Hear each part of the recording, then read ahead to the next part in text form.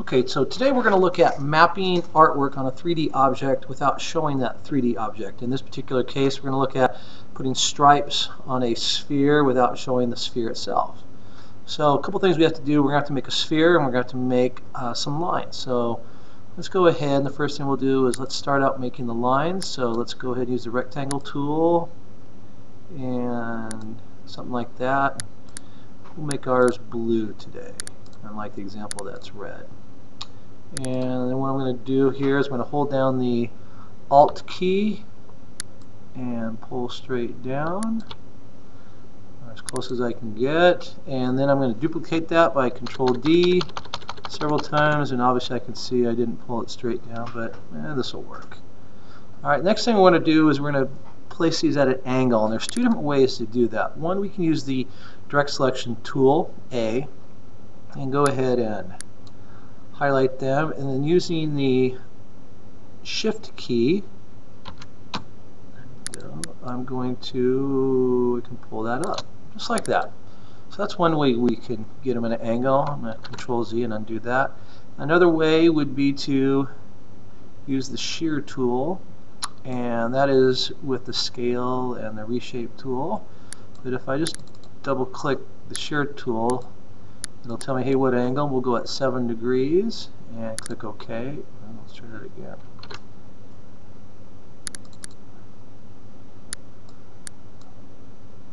Seven degrees.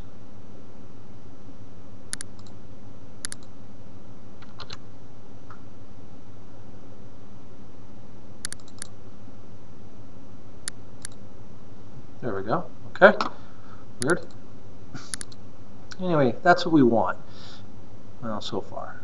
Next thing we're going to do is we're going to crop out these so it's going to be in a perfect rectangle. So we're going to go ahead and draw a rectangle starting at the let's see the lowest point at the top and we'll go to the without going over so something like that I'm to move this over no do that I'll make the box there we go. So something like that. And I'll change the color just so we can see it a little easier. And it looks like I've kind of I'll move that up a little bit. There we go. Okay now what we're going to do here is we're going to crop the blue lines that are within this triangle or this rectangle. So I'm going to select both of them. And I'm going to pull up my Pathfinder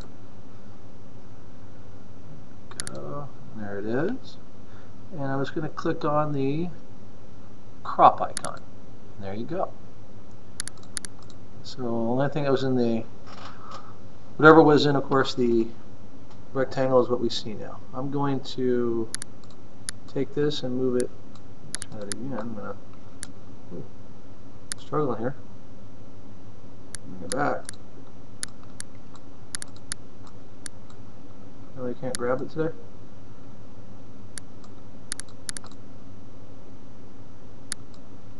There we go. Pull it in here. I'm going to change it to graphic and call it blue stripes. Okay. And it's in here, so I can go ahead and delete that. And I pull it back in. There it is. Undeleted. Now the next thing we're going to do is make our sphere. So we're going to start out with a perfect circle. So I'm going to hold down Shift I make the ellipse. There we go. And to make a circle, I have to cut this, or a sphere, I have to cut this circle in half. And I'm going to go ahead and use the scissors tool, and it's with the eraser.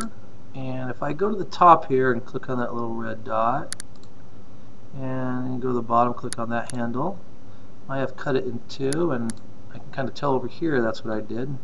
When I go to the selection tool, I can just pull out one, and I'll get rid of that. And let's see here. We'll select this and we'll go up to Effects, 3D, Revolve. I'll move it over so we can see it. And I'm going to click on Preview. Okay. And then go to Map Art. And scroll down and find my blue stripes. There they are. I'm going to scale to fit. I'm going to shade the artwork And to make the ball disappear, or the sphere, I'm going to click Invisible. And in here we can see, we can see around both edges. Now I can see over here they don't really line up. So what I'm going to do is I'm going to go in my map art box here. I'm just kind of turn it, and that looks a lot better. So they line up on the back side. And click OK, and I can move it. You can see we've lined them up pretty well. And that's how you map the art.